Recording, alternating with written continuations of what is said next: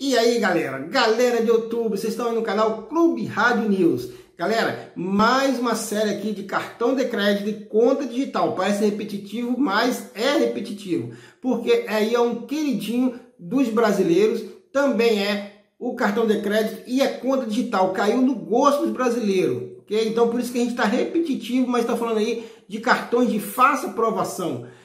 Vou falar aqui agora do Credicar. O Credicar, galera é o seguinte, ele tem várias modalidades. Antes de eu falar dessa modalidade, é de praxe eu falar o seguinte. Você que não é inscrito no canal, se inscreva no meu canal, ok? Deixe seu like, seu dislike e deixe seu comentário, isso é muito importante. Para você não vai custar nada, porém para mim vai ser de grande valia.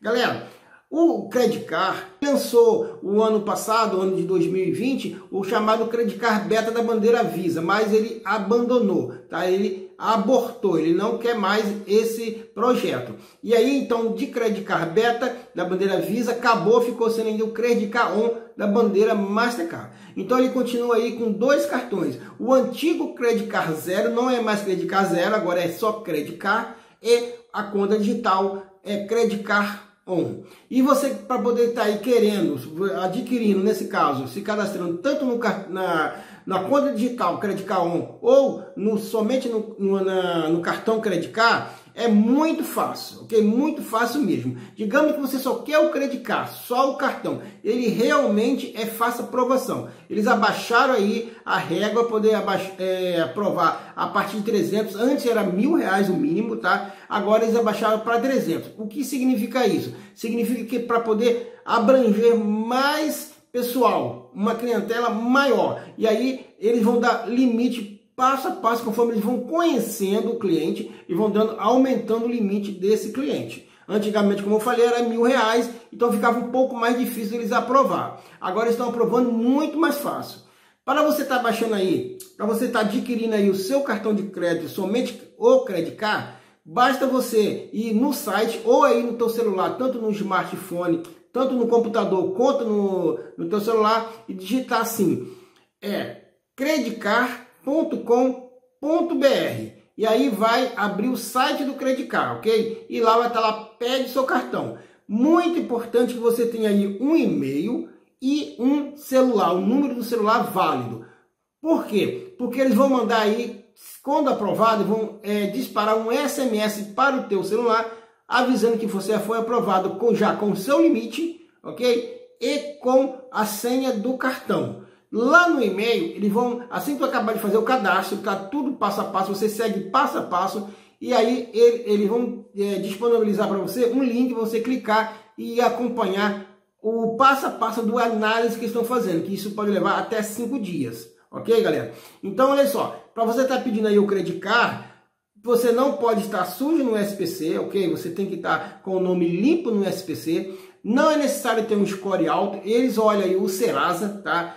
Eles é, também eles pedem algumas particularidades, por exemplo, e não é por comprovar a renda, porém eles pedem a renda, tá? Pede a profissão, não é necessário você comprovar a renda, tá? Não pede você mandar foto nem nada. Inclusive nem se você tira, tá?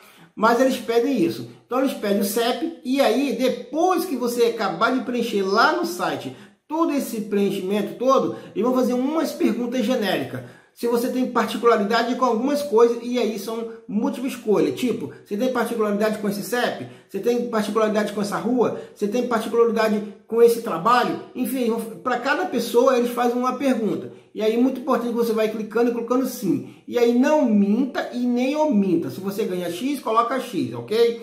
E aí, galera, muito bem. E aí, só esperar o análise. Se você quer a conta digital mais o cartão de crédito, basta você baixar o aplicativo chamado Credicaon, vai aí no teu loja do, do teu smartphone de aplicativo do teu smartphone, tanto aí o, o Android quanto o iOS, e tá baixando então o Credicar On. E aí nesse Credicar On é o mesmo procedimento, você começa a fazer tudo, CPF, etc, tudo certinho, começa lá a colocar e aí você vai passar por uma análise, tá? Aí você vai ser liberado a conta. Lembrando que para ser liberado a conta não é necessário estar limpo no SPC.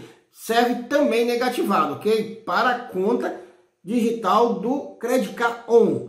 Porém, para passar na análise de crédito, aí já vai complicar se você tiver no SPC. Mas aí o, a conta vai ser aberta. Então, galera, e aí depois acontece o seguinte, você vai passar por uma análise e aí se você passar por essa análise da conta, automaticamente eles vão fazer uma análise de crédito. E aí você poderá ser aprovado tanto na conta quanto no crédito, ok? E aí você é só partir para o abraço. É a partir também de 300 reais. Eu sempre digo aqui nos meus é, vídeos que a pessoa é bom a pessoa não mentir e nem omitir, falar tudo a verdade. E para que você seja ainda, é, como posso dizer, muito maior chance de você estar tá aí conseguindo o seu crédito, que você aí é, atualize todos os teus dados na Receita Federal, lá no, no, nos birôs de crédito Serasa, é, Boa Vista, SPC, todos os birôs de crédito, atualiza aí todos os teus dados, ok? E também